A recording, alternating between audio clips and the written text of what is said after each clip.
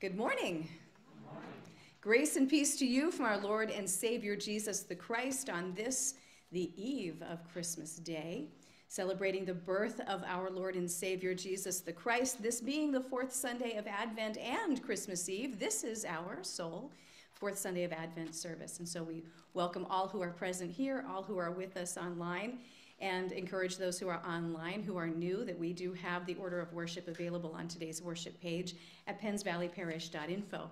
A couple of announcements I want to draw your attention to. The first and most important one is we did have a change in our schedule for next Sunday. So although it says in the bulletin we'll follow our regular worship schedule, that is not true. We will not have worship here at Trinity. Uh, you will have Sunday school at 9:30 but we will not have worship at 8:30 next Sunday. We will resume the following Sunday. We will have services at St. James at 9:45 and at Spruce Town next Sunday at 11. If you would like to attend there, you're welcome to do so. Also, just a reminder, some things that are coming up in the new year. We have something new that we're going to start called First Wednesday and Third Wednesday Bible Studies. We're going to have the first Wednesday Bible studies at Spruce Town at 10 from 10 a.m. to 11:30 and the third Sunday uh, studies will be held 10 to 11:30, hosted at St. James. They're just open to anyone. It's a traditional Bible study. You bring your Bible and we read through it. We're going to start in the book of Matthew and go through the Gospels. So if you would like to join us, you're welcome to. If you know someone who might be interested, invite them to come as well. Anyone and everyone can come. And as far as Trinity uh, events coming up soon, please take note of January 15th when we have our trustees and ad board meeting and also January 17th when we have the first quarter reorganizational meeting of the charge-wide staff parish relations committee. They will meet on the 17th of January, 7 p.m. at St. James in Coburn. Are there any other announcements to share this morning? Then seeing none, I want to draw your attention to our centering words for today. Glorify God this day. Magnify the Lord with all your heart. Sing praises to God who reigns above. Glorify the Lord with gladness. Would you please rise in body or in spirit to prepare our hearts for worship by singing together the sanctuary song?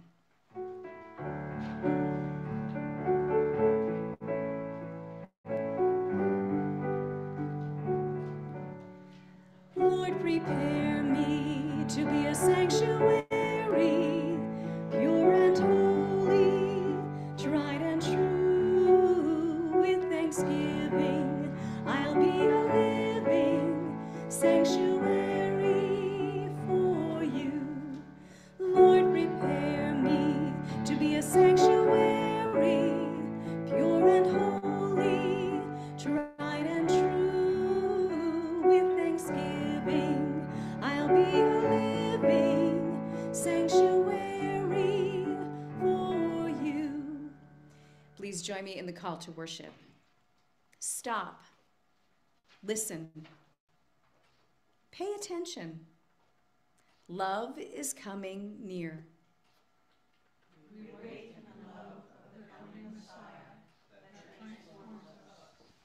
The hope bringer, peacemaker, joy sustainer grows in a womb, preparing to be born among us.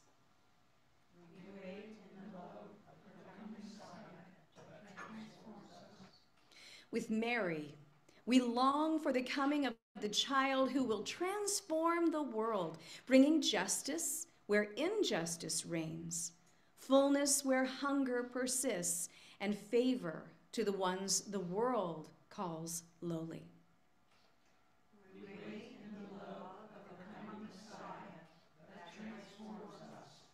So let us join our voices and our lives in magnifying God, our Savior.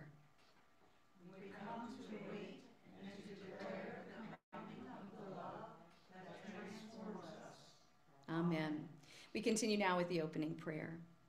Holy God of joy, we rejoice in the reality of who you are. We live within the joy of your love for us. Our contentment comes and goes our happiness ebbs and flows. Our feelings depend upon our circumstances, our physical health, our brain chemistry. but our joy is deeply rooted in our identity as your beloved children. And we give you thanks. Amen. Would you please turn in the United Methodist hymnal to number 218 as we sing together our opening hymn, It Came Upon a Midnight Clear.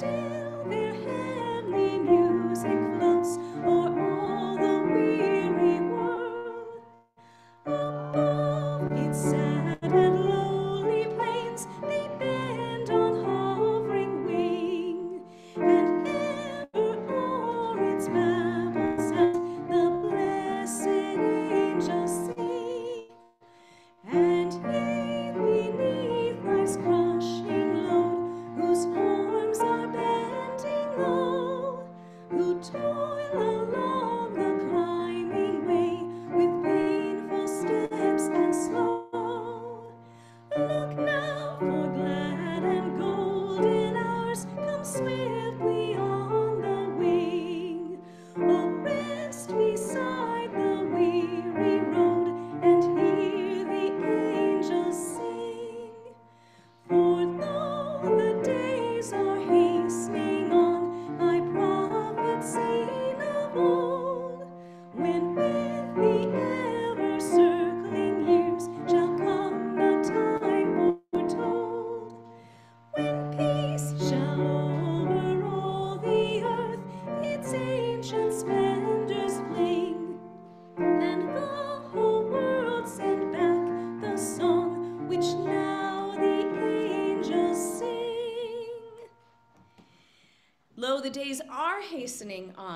prophets seen of old, with the ever circling years, when with the ever circling years, rather, come the time foretold. So, in preparation for Jesus' second coming, we wait and we bring gifts to be blessed by God so that others may know. So, let us prepare those to bless those gifts by singing together the doxology. Praise God from whom all blessings flow. Praise Him.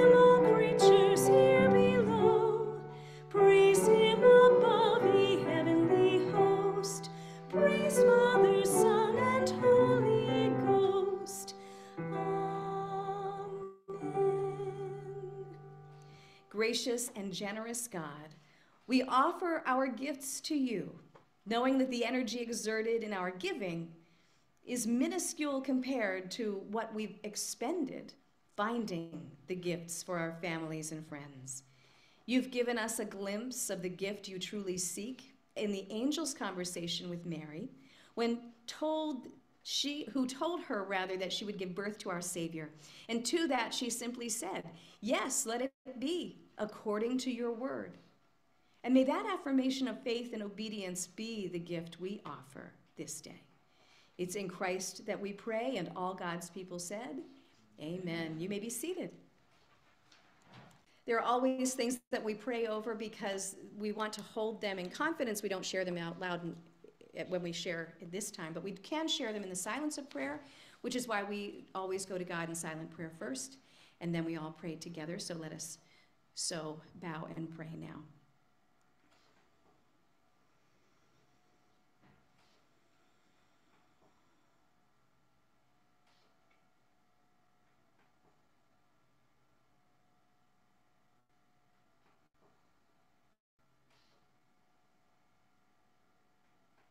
Heavenly Father, we lift up to you all of those people and concerns that we've mentioned out loud and in the silence of prayer. We know that you are a great God. You can do anything. You are an all powerful, all knowing God. And yet, Lord, we can't quite imagine what it must have been like for Mary. As difficult as our lives might seem, or as challenging as some of the requests made of us, for Mary to hear God's request through an angel, to respond then unconditionally with yes.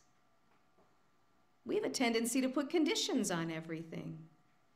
We want it to be convenient. We want it to work into our schedule. We want to know that we have, we want to know exactly what we have to do. We want to know the timeline. We want to know how long it's going to take. What's in it for us?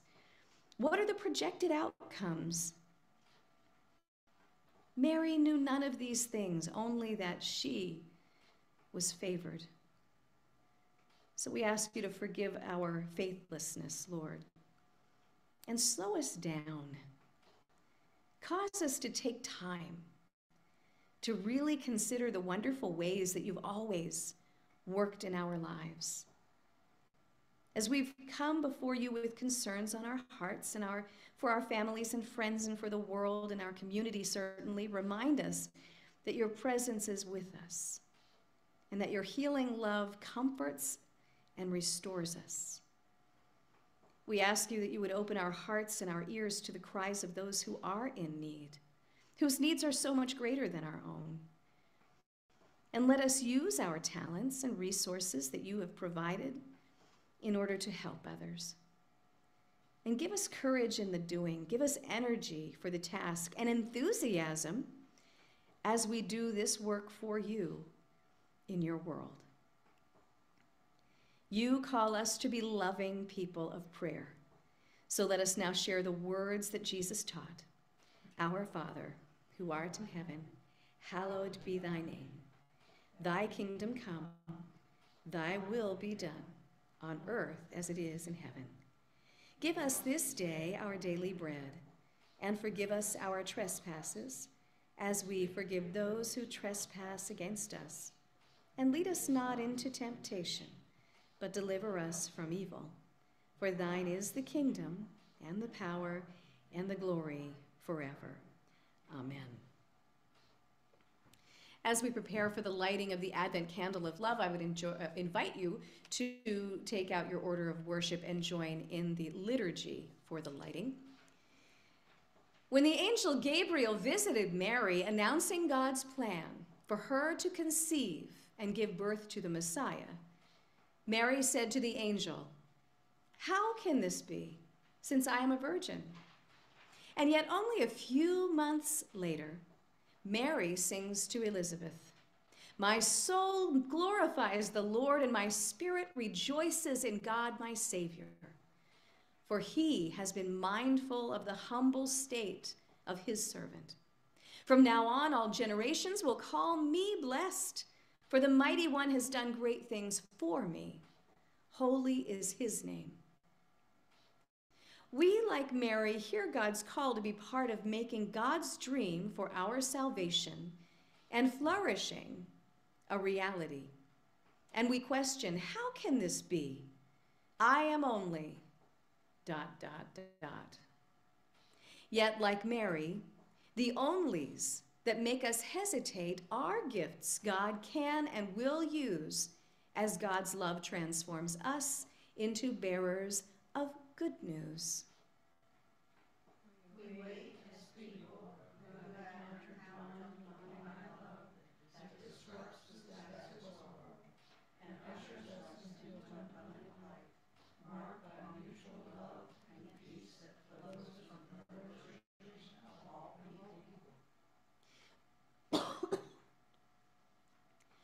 light these candles as a sign of our shocking hope, our just peace, our fierce joy, and the love that transforms us.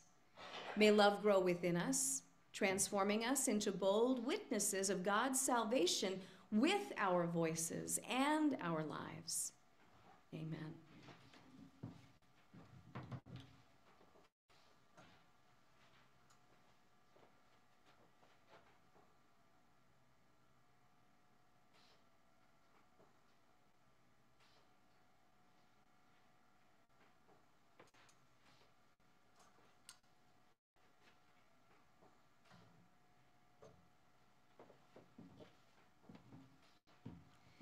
Would you please remain seated as we sing our hymn of preparation?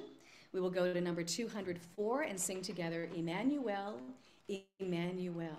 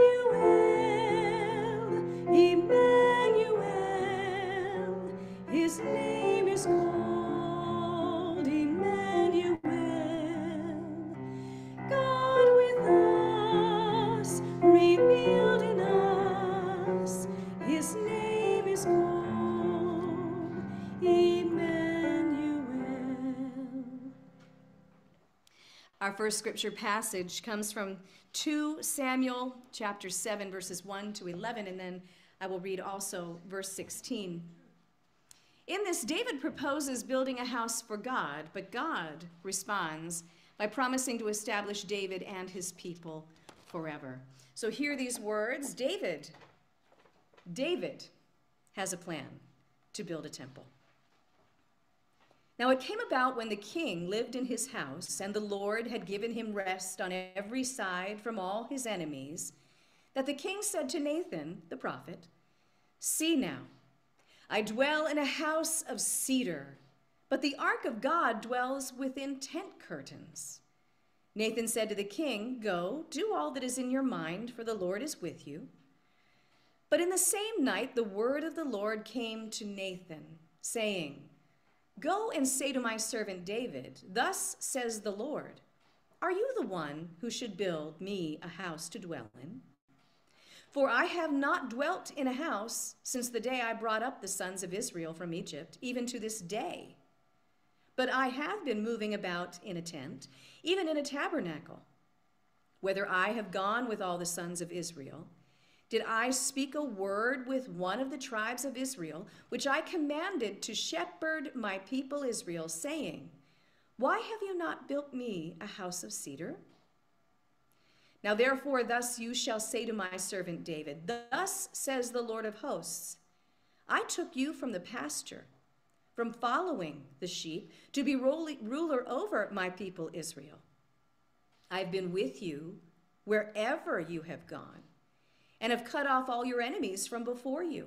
And I will make you a great name, like the names of the great men who are on the earth. I will also appoint a place for my people Israel, and will plant them, that they may live in their own place, and not be disturbed again. Nor will the wicked afflict them any more as formerly, even from the day that I commanded judges to be over my people Israel and I will give you rest from all your enemies. The Lord also declares to you that the Lord will make a house for you. Your house and your kingdom shall endure before me forever. Your throne shall be established forever. Our second reading comes from the book of Romans, and in this reading, Paul is praising God to the church in Rome and he's talking about the advent of Christ as a great mystery that's now revealed. So hear these words from Romans 16, verses 25 to 27. Now to him who is able to establish you according to my gospel and the preaching of Jesus Christ, according to the revelation of the mystery which has been kept secret for long ages past, but now is manifested, and by the scriptures of the prophets, according to the commandment of the eternal God, has been made known to all the, all the nations, leading to obedience of faith to the only wise God, through Jesus Christ, be the glory forever. Amen. In our final reading, the angel Gabriel announces to Mary the birth of a child. This is Jesus' birth foretold, Luke 1, verses 26 to 38. Now, in the sixth month, the angel Gabriel was sent from God to a city in Galilee called Nazareth to a virgin engaged to a man whose name was Joseph, of the descendants of David, and the virgin's name was Mary. And coming in, he said to her, Greetings, favored one, the Lord is with you. But she was very perplexed at this statement and kept pondering what kind of salutation this was. The angel said to her, Do not be afraid, Mary, for you have found favor with God. And behold, you will conceive in your womb and bear a son, and you shall name him Jesus. He will be great and will be called the Son of the Most High, and the Lord God will give him the throne of his father David. And he will reign over the house of Jacob forever, and his kingdom will have no end. Mary said to the angel, How can this be, since I am a virgin? The angel answered and said to her, The Holy Spirit will come upon you, and the power of the Most High will overshadow you. And for that reason, the holy child shall be called the Son of God. And behold, even your relative Elizabeth has also conceived a son in her old age, and she who is called barren is now in her sixth month. For nothing will be impossible with God. And Mary said, Behold, the bondslave of the Lord. May it be done to me according to your word. And the angel departed from her. This is the word of God for the people of God. Thanks be to God. In 2 Samuel, we hear that David has a great idea. Anybody here ever had a great idea? I think my great ideas started at a very early age. And I would have a great idea, and I would share my great idea with my parents, and my parents would tell me it wasn't such a great idea. This is basically what's happening with David because David, his great idea is he wants to build a house for God. And his trusted friend Nathan says, Well, why not? But David's timing was not God's timing. So the idea might have been valid, but the timing was not. And so God tells Nathan to tell David to put this on the back burner for now. When it's the right time, God will take care of it. And David's vision, although I said it might have been good, but I think as far as the idea, but his vision could have very well been a grand house on a high hill, whereas God had something a little simpler, a little small place maybe in the middle of town. Whatever the reason, because it doesn't say.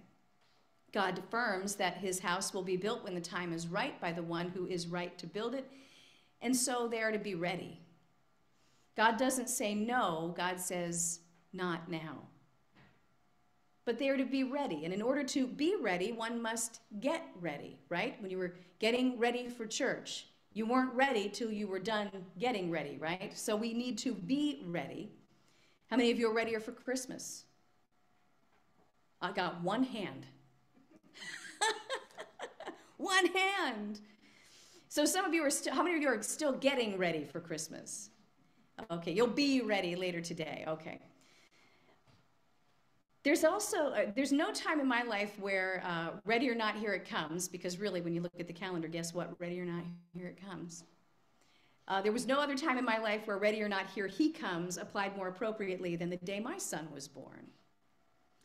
Now, everything was in place as far as, you know, we knew that he would be arriving some point soon. It was close to the due date.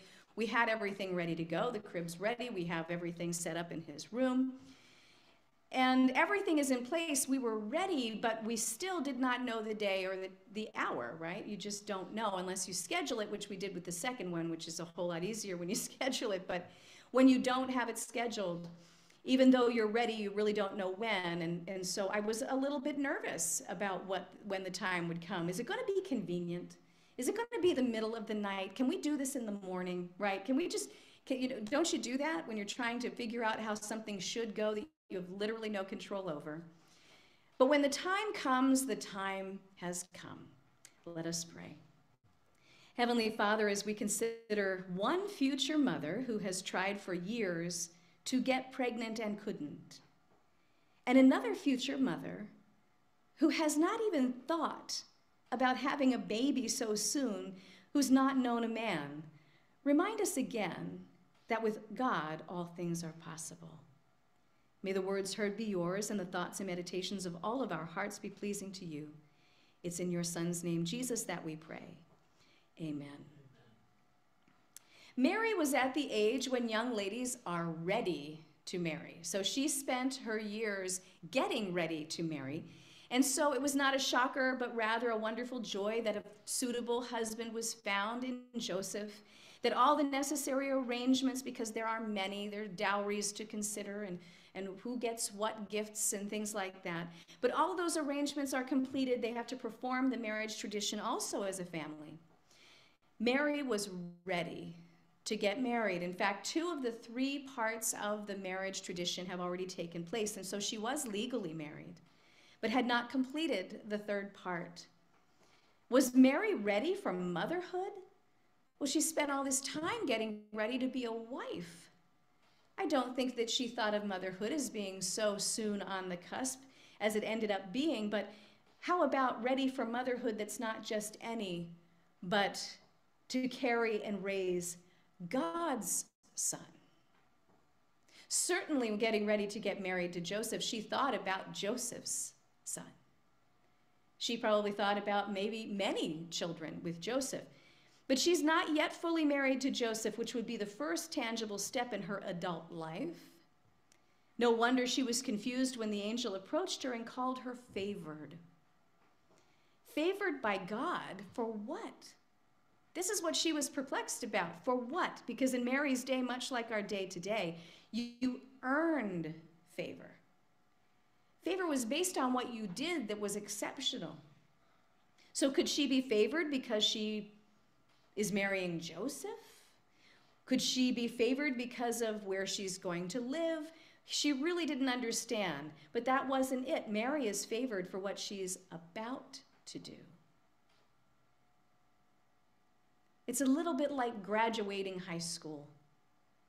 They celebrate not so much the accomplishment of finishing school, but what you are about to do. At weddings, we celebrate not so much that you dated, we celebrate what you are about to do. Every plan and expectation of how her life with Joseph will be has now completely changed there are a lot of complications that come in with this command. When life throws you a curveball, what do you do? Well, some seek out the counsel of another for whom life has thrown curveballs, right? So we have those people hopefully in our lives that we can seek out. And Mary's relative Elizabeth is decades older. And she and her husband Zechariah tried for many years to have a baby. And when it didn't happen, they made their peace with it, sort of, as much as one can. They accepted, for whatever reason, that they would not become parents, and they cared for children in their own ways.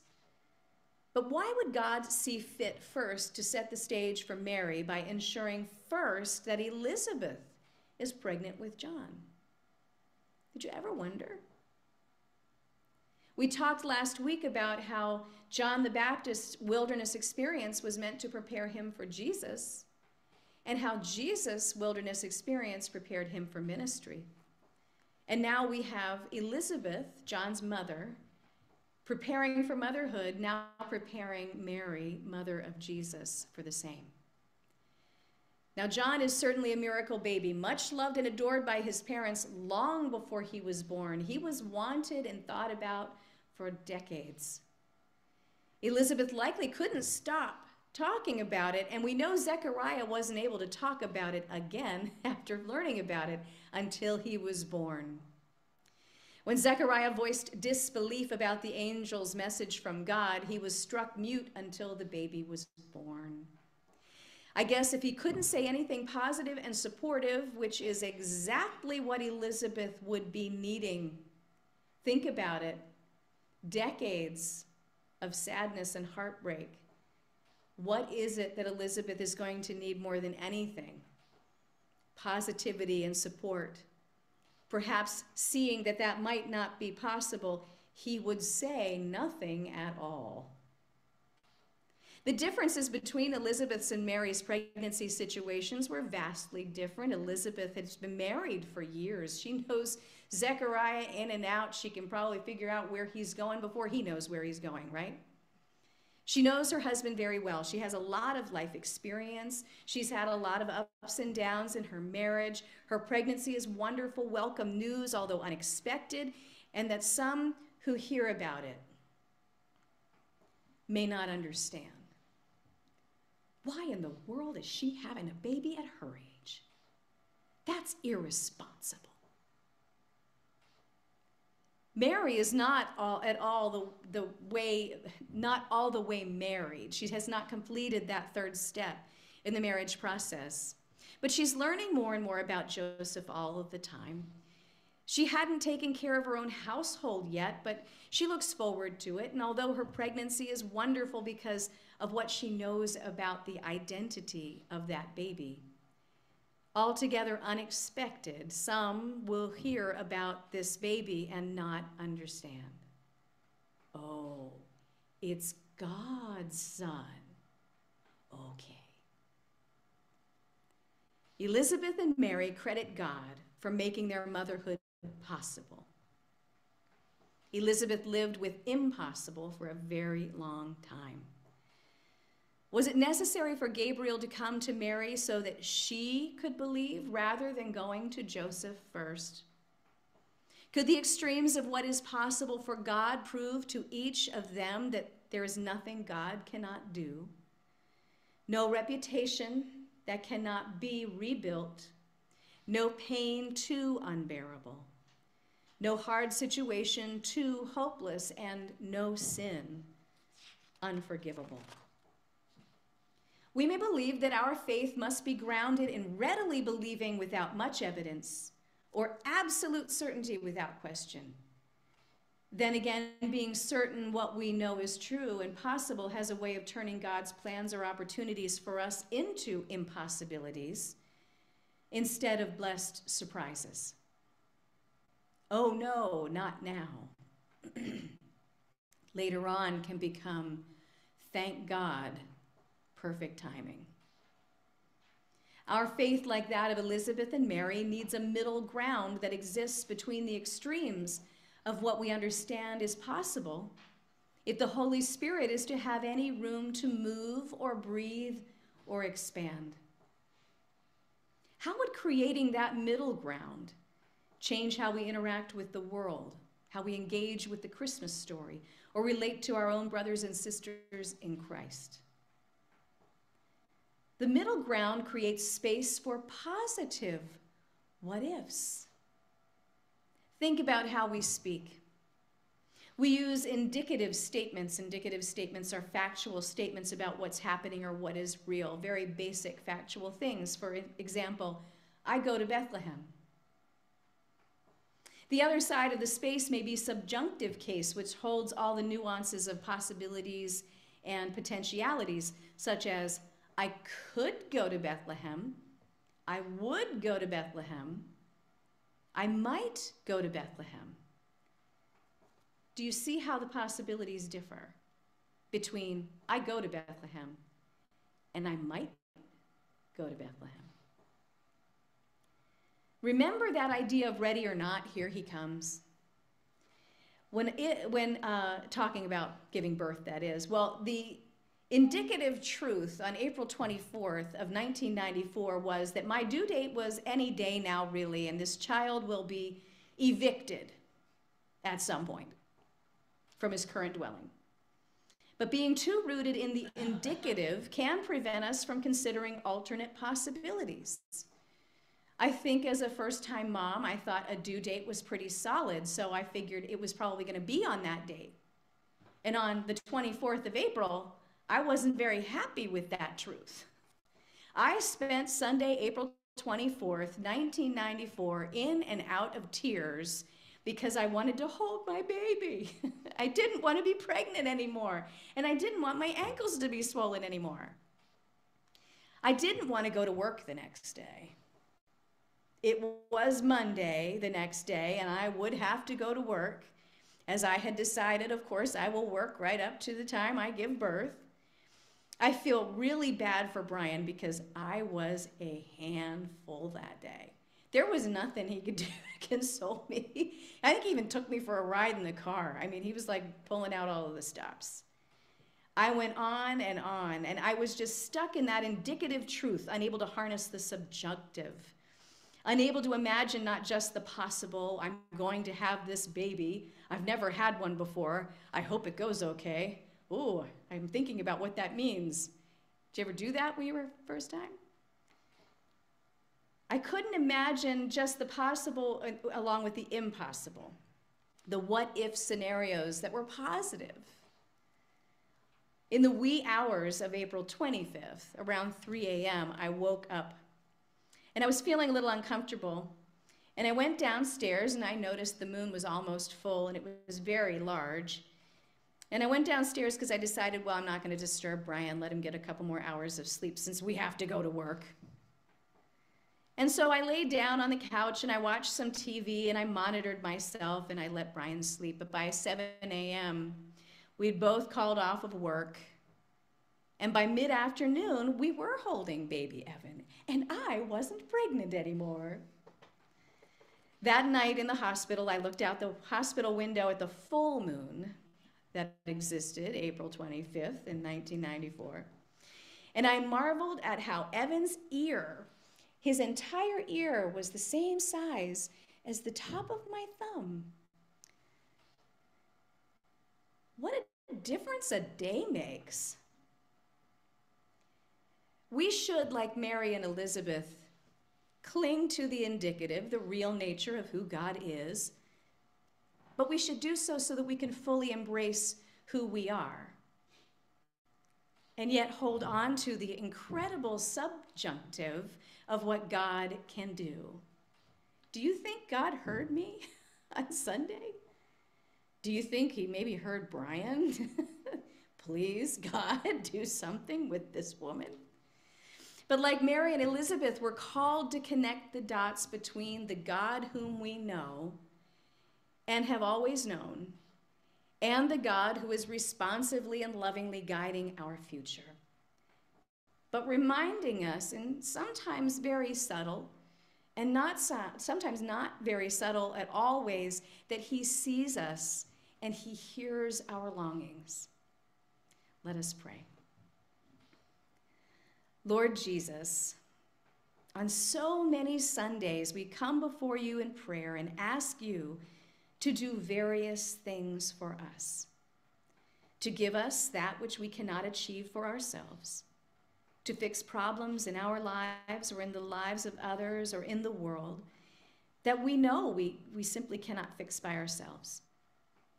Today, we stand upon the eve of your incarnation. Our prayers to you are pure praise. You've acted decisively on our behalf. You've given us a gift we could not earn or des- deserve the gift of yourself, your love made manifest and present to us in the birth of the baby in Bethlehem.